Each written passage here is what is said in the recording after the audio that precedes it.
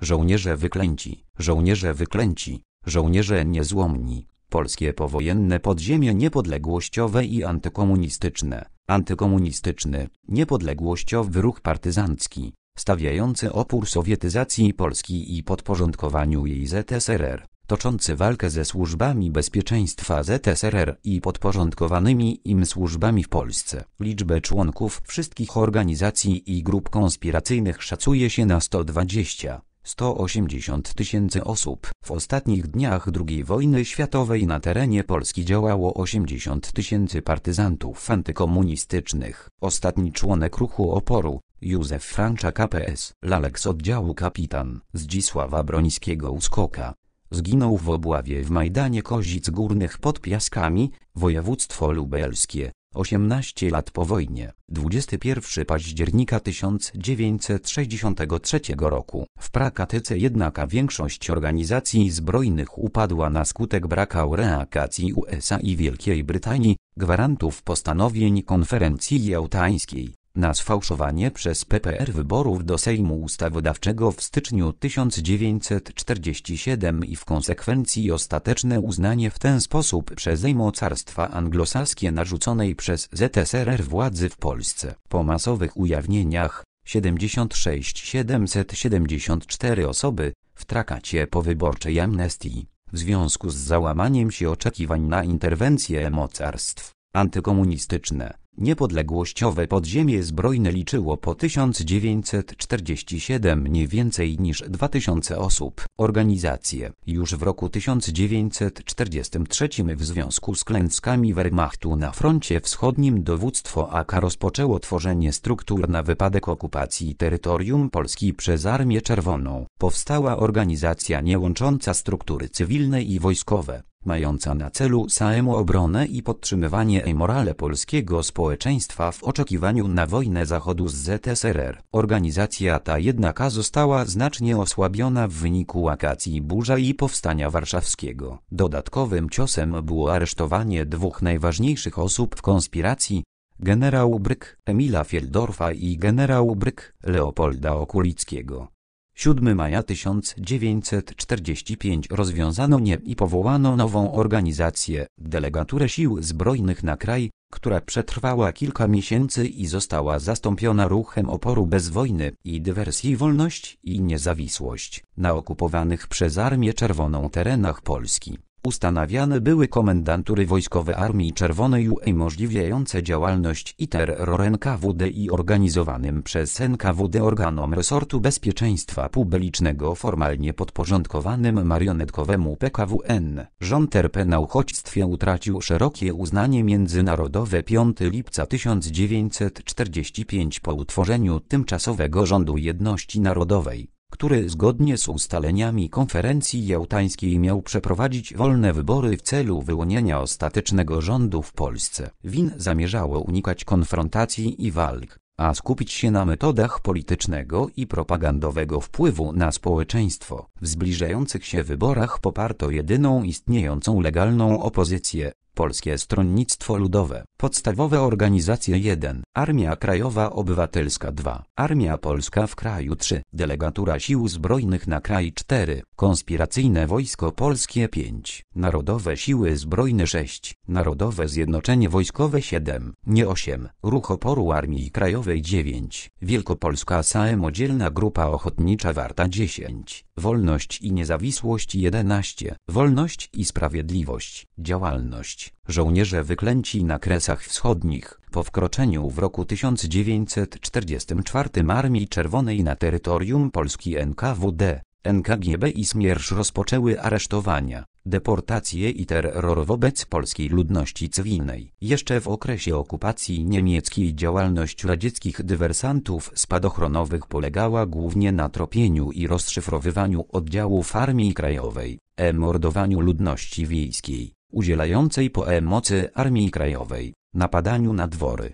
paleniu kościołów i likwidowaniu inteligencji polskiej. Do kontroli polskich ziem wschodnich użyto oddziały NKWD, oddziały Armii Czerwonej i miejscową milicję. Rekrutującą się z czerwonej partyzantki. Na przykład oddziały partyzancki radzieckiej im Czapajewa rabowały się w okręgu nowogródzkim. W rejonie Lidy w ciągu 3 miesięcy NKWD wyemordowało 9800 osób. W Szczuczynie Nowogródzkim zaemordowano 8000 osób. W Oszmianie 6000 osób. W sierpniu 1944 roku z Wilna wywieziono kilkanaście tysięcy mężczyzn do Kaługi.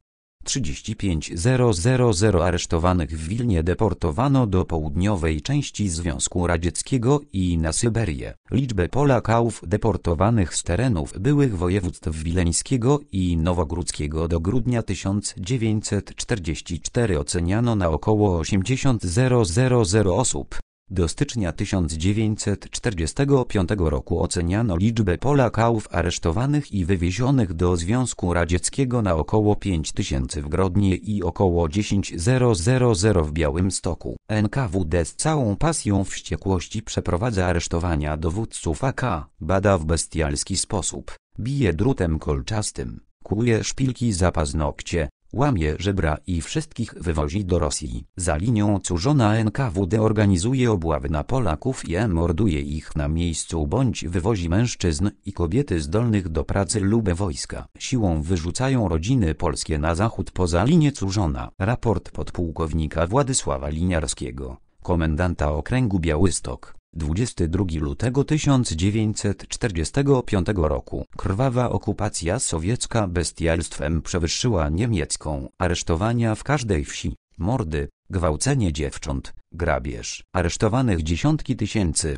wywożą w nieznanym kierunku na amerykańskich samochodach lub torturują nagich w lochach z wodą. Raport podpułkownika Władysława Liniarskiego do Centrali i Komendy Głównej Armii Krajowej. 27 marca 1945 roku. Podziemie niepodległościowe aktywnie działało na Kresach Wschodnich, włączonych w wyniku umowy PKWN do ZSRR we wrześniu 1944 roku, szczególnie na ziemi grodzieńskiej, nowogródzkiej i wileńskiej. Wśród oddziałów podziemia operujących na tym obszarze był m.in. oddział pułkownik Macieja Kalenkiewicza-Kotwicz, Cichociemnego, dowódcy okręgu nowogródzkiego AK, oddział podporucznik Czesława Zajączkowskiego Ragnera walczący w Nowogródzkiem, oddział POR. Jana Borysewicza PS Kresia, Mściciel, oddział podporucznik. Anatola Radziwonika Olecha operujący na ziemi lickiej, oddział podporucznik. Mieczysława Niedzińskiego Mena walczącego na Grodzienieszczyźnie.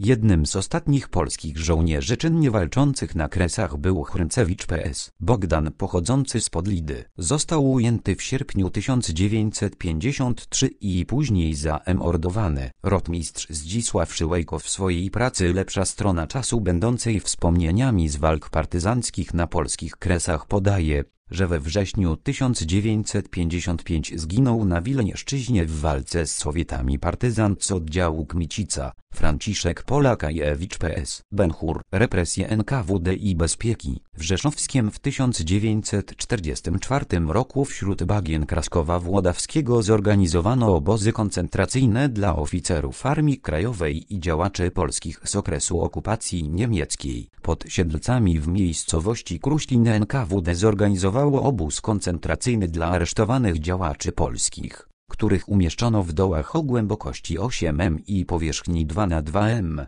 gdzie woda sięgała do kolan. Ocenia się, że między listopadem 1944 roku a majem 1945 roku do obozów pracy na Syberii trafiło przynajmniej 50 tysięcy Polaków, a przynajmniej dwukrotnie więcej znalazło się w obozach utworzonych w Polsce. W Lubartowie pod Lubelinem jest obóz dla oficerów AK oraz oficerów Armii Rzymierskiego, którym udowodniono przynależność do AK lub inne przestępstwa polityczne. W obozie jest około 6 tysięcy oficerów. Obóz jest kierowany i dozorowany przez NKWD. Warunki higieniczne odżywianie i trakatowanie fatalne. Co kilka dni wywozi się większą partię więźniów w niewiadomym kierunku. Raport pułkownik Jana Ziętarskiego do generał Leopolda Okulickiego z 21 lutego 1945 roku. Berlingowcy i NKWD stosują niesłychany terror do ludności polskiej. Grabieże, e-mordy, gwałty. Dnia 7.3 Spalono wieś Futy, POW, Ostrów Mazowiecki. Ludność wyemordowano. Dzieci i kobiety żywcem rzucano w ogień. Raport komendanta okręgu Białystok do naczelnego wodza w Londynie. 2 maja 1945 roku. Rząd lubelski i NKWD walczą bezwzględnie z każdym, kto nie współpracuje. Terror wzmaga się. Przepełnione więzienia, liczne obozy koncentracyjne, największe, Rembertów, Sikawa koło Łodzi i Mysłowice. Raport pułkownik Jana Rzepeckiego do centrali 3 maja 1945 roku dnia 28.v. Do obozu w Rembertowie przywieziono około 100 więźniów politycznych z Białego Stoku. Obecnie w obozie umiera z głodu 13, 15 osób dziennie. Ciała chowa się w lesie, na mogiłach sadzi się drzewa, by nie było śladu. Depesza do centrali komendanta obwodu Mińsk Mazowiecki kapitan Walentego Sudy, nadana 1 lipca 1945 roku. NKWD i Bezpieka walczyła z konspiracją niepodległościową podstępnymi metodami. Już w 1945 roku po aresztowaniu Jana Mazurkiewicza PS Radosław utworzono tzw. Centralną Komisję Likwidacyjną AK.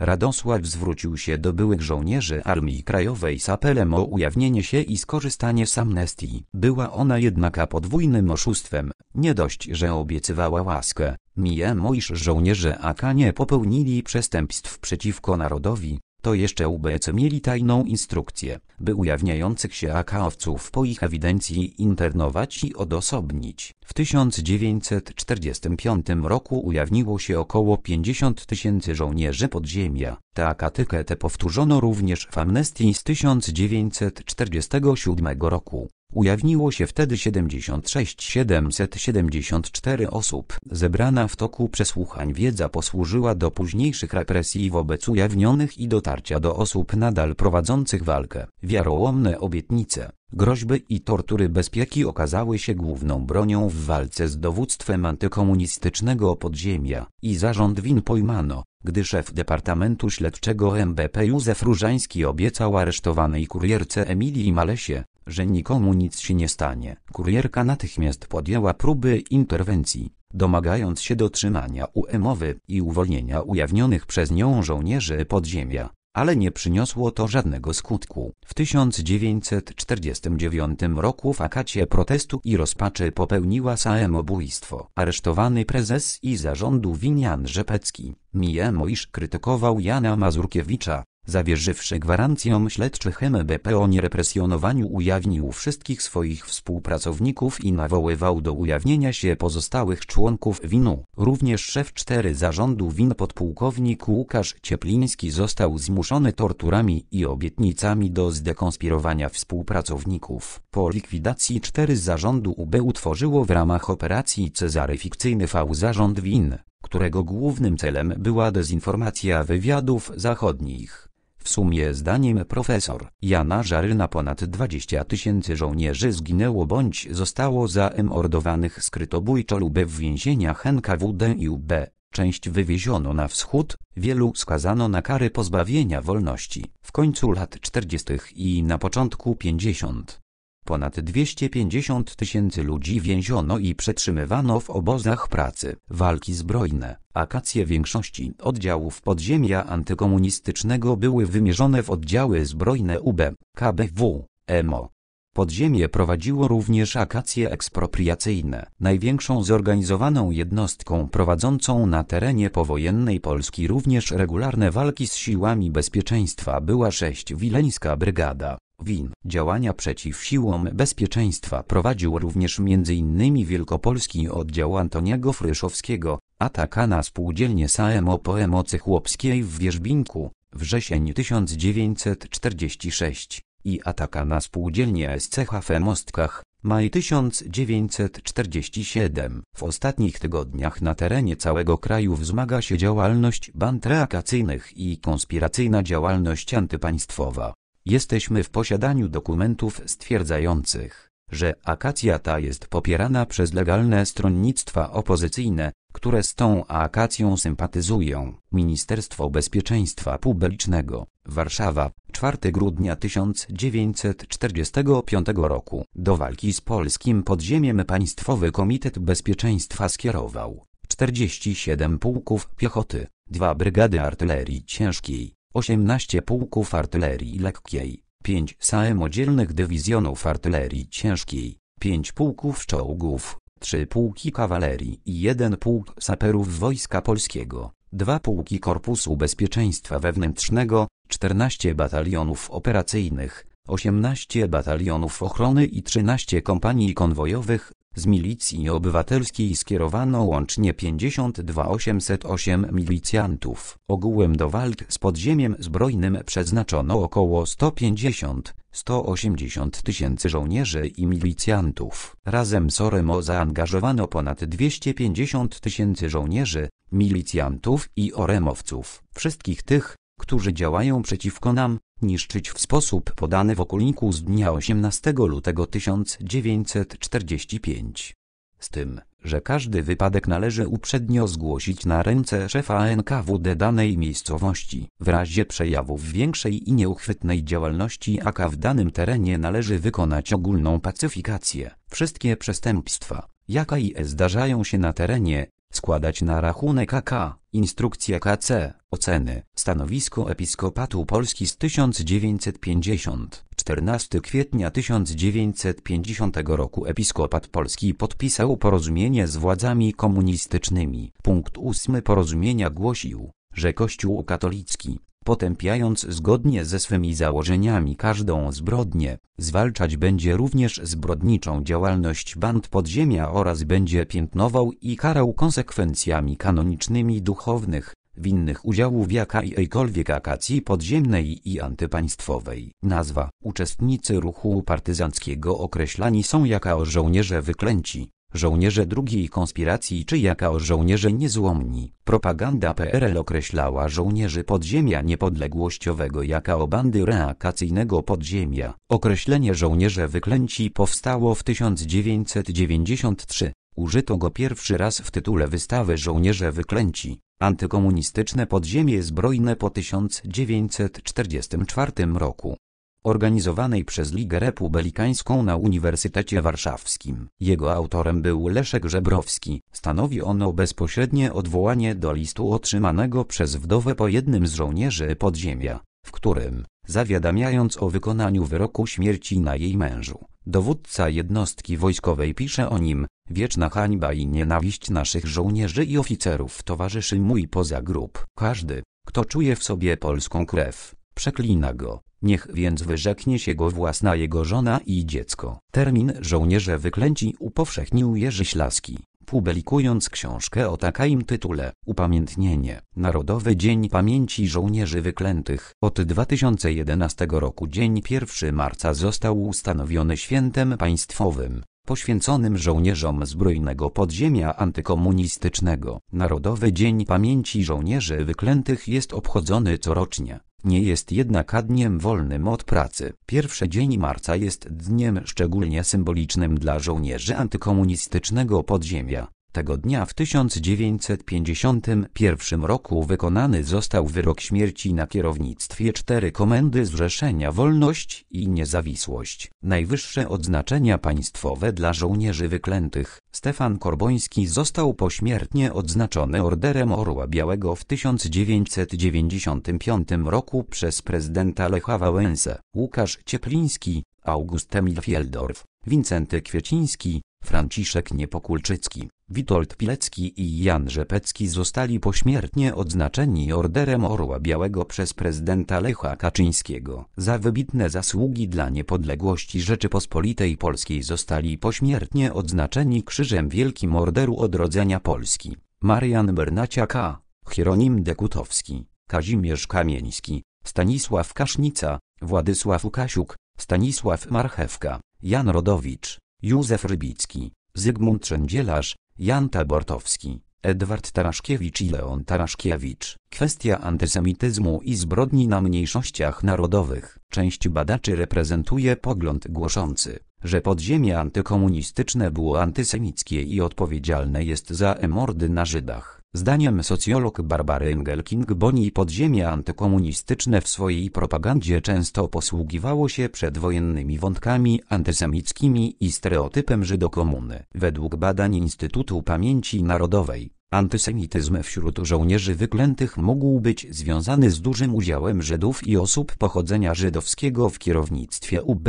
Historyk Maciej Korkuć wskazuje na fakat strzelania do kilkunastu żydowskich cywili przez podkomendnych Józefa Kurasia Ognia w okolicy Krościenka. Zaznacza, że akacja określona przez niego jako zbrodnia nie była rozkazem ognia. Socjolog Jan Tomasz Gross podaje, że oddział Kurasia zamordował wówczas 11 osób, raniąc 7. 5 lutego 1946 oddział Edwarda Taraszkiewicza Jastrzębia opanował na kilka godzin miasto Parczew, w którym dokonał aprowizacji, Zabił milicjanta oraz trzy Żydów w służbie EMO. Informacje o ukaraniu ludności żydowskiej za terroryzowanie Polakałów i regularny rabunek okolicznych chłopów przyjeżdżających na targ pojawiają się w spisanej w 1948 roku kronice oddziału żelaznego, gdzie jeden z autorów tekstu opisuje tło społeczno-ekonomiczne oraz plan ataku na strukturę aparatu bezpieczeństwa podległego władzy ludowej w Parczewie uprzywilejowana żydowska ochrona miasta i mogąca jako jedyna poza Emos Leszubę legalnie nosić broń, nękająca miejscową ludność była wcześniej ostrzeżona przez Jastrzębia, że jeśli nie zaprzestanie tego procederu to osobiście ich ukaże. Informacja o etnicznych przyczynach ataku została spreparowana przez aparat propagandy władzy ludowej dla celów politycznych a następnie była powtarzana przez różnych historyków powołujących się na wątpliwe źródła pochodzące z aparatu bezpieki.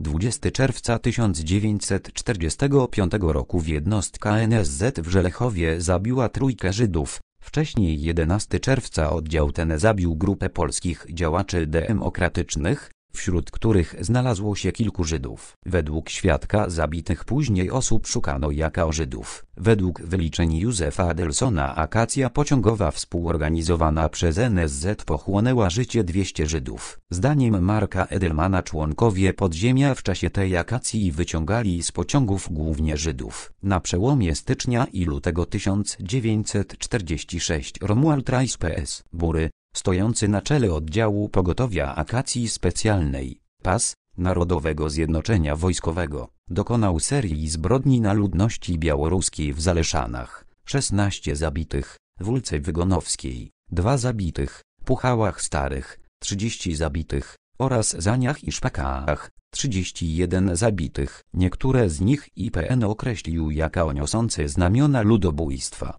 30 stycznia 2011 roku na Podlasiu oddano hołd 79 ofiarom tych zbrodni. Oficerem NZW współodpowiedzialnym za zbrodnie w Piskorowicach na ludności ukraińskiej był Józef Zadzierski. 6 czerwca 1945 roku oddział Narodowych Sił Zbrojnych pod dowództwem Mieczysława Pazderskiego dokonał zbrodni w Wierzchowinach, mordując tam 196 osób pochodzenia ukraińskiego. Żołnierze wyklęci w kulturze film. W 1990 roku powstał film dokumentalny Tadeusza Pawlickiego Witold, o Witoldzie Pileckim, z udziałem m.in. żony rotmistrza, jego dzieci Zofii i Andrzeja, współpracowników Sierackiego, Płużańskiego oraz łączniczki Nory Ostrowskiej. W filmie wypowiada się też więzień Raka Owiecki KS. Tadeusz Stępień. Film emitowano wielokrotnie w TVP2, potem w TVP Historia. W 1995 powstał film dokumentalny Aliny Czerniakowskiej o polskim podziemiu antykomunistycznym po II wojnie światowej pod tytułem Zwycięstwo z udziałem m.in. Leszka Żebrowskiego. W 1996 powstał film dokumentalny Tadeusza Pawlickiego pod tytułem My, ogniowe dzieci przedstawiający historię majora Józefa Kurasia PS Ogień. W 2000 roku powstał film dokumentalny Mariusza Pietrowskiego pod tytułem Łupaszko opisujący życie majora Zygmunta Szędzielarza PS Łupaszka. W 2002 roku powstał film dokumentalny Grzegorza Królikiewicza o historii majora Józefa Kurasia PS Ogień pod tytułem, a potem nazwali go bandytą. W 2007 roku powstał film dokumentalny Jerzego Zalewskiego Elegia na śmierć Roja, opowiadający historię Mieczysława Roja Dziemieszkiewicza. W 2008 powstał dwuczęściowy film dokumentalny w imieniu Polski Ludowej, PROT. Discovery Historia, w 2009 powstał serial dokumentalny Żołnierze Wyklęci, PROT. Discovery Historia, w 2013 roku powstał film dokumentalny Klamra, w przedsionku śmierci w reżyserii Riot. Lipskiego i P. Mielecha, PROT.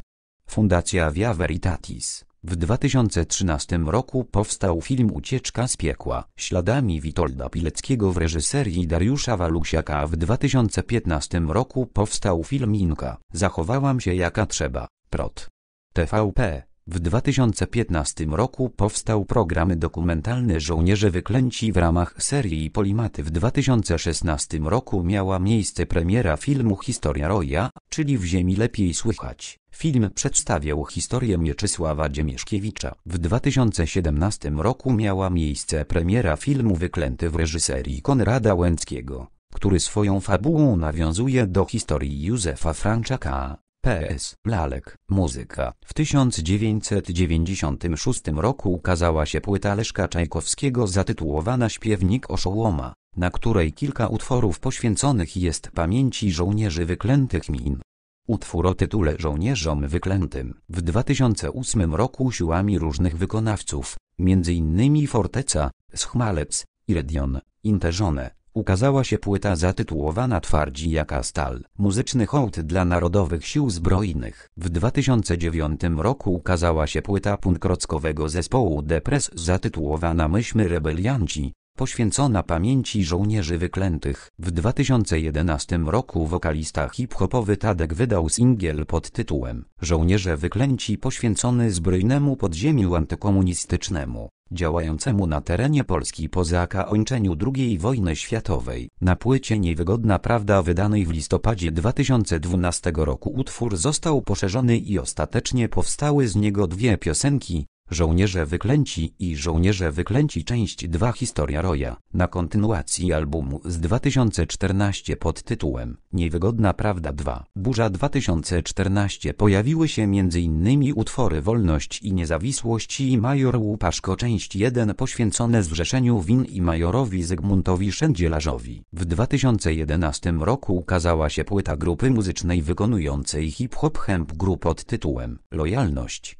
na której znalazł się utwór Zapomniani Bohaterowie poświęcony m.in. żołnierzom wyklętym. W 2012 roku zespół Obłęd wydał płytę 100% Obłęd, na której znalazł się utwór Żołnierze Wyklęci ku czci ich pamięci w 2013 roku na płycie na rapera Ptaka ukazał się utwór Żołnierze Wyklęci opowiadający historię Józefa Kurasia, Ryszarda Kuklińskiego i Rafała Ganganowicza. W 2013 roku powstał album Panny Wyklęte będący wydawnictwem projektu muzycznego Dariusza Malejonka i artystek polskiej sceny muzycznej. Koncepcja płyty została zainspirowana historiami przedstawicielek żołnierzy wyklętych. W 2013 roku raper FTIS wypuścił trzy single poświęcone żołnierzom wyklętym. Pierwsze z nich Ochotnik opowiada historię życia pułkownik Witolda Pileckiego. Drugi, Niezłomni bohaterowie opowiada o Stanisławie Sojczyńskim PS Warszyc, Łukaszu Cieplińskim Pług i Hieronimie Dekutowskim Zaporze. Trzeci zachowałaś się jaka trzeba, Inka. W 2013 roku zespół Forteca wydał płytę Kto dziś upomni się o pamięć nawiązującej tematyką do żołnierzy wyklętych. W 2014 roku zespół Joinet wydał piosenkę pod tytułem Zabrali mi ciebie tato nawiązującej do pomordowanych na łączce żołnierzy antykomunistycznego podziemia w 2014 roku szwedzki power metalowy zespół Sabaton w piosence In Mate 4859 upamiętnił Witolda Pileckiego. W 2015 roku zespół Chorytnica wydał piosenkę pod tytułem Rój, nawiązującej do jednego z żołnierzy wyklętych ST. Sierżant Meczysława Dziemiszkiewicza PS Rój Teatr 15 maja 2006 miała miejsce premiera spektaklu telewizyjnego sceny fakatu pod tytułem Śmierć rotmistrza Pileckiego. Widowisko wyreżyserował Ryszard Bugajski. W rolę Witolda Pileckiego wcielił się Marek Probosz. 22 stycznia 2007 miała miejsce premiera spektaklu Teatru Telewizji Inka 1946 w reżyserii Natalii Korynckiej-Grus z Karoliną Kominek w roli głównej o Danucie Siedzikównie.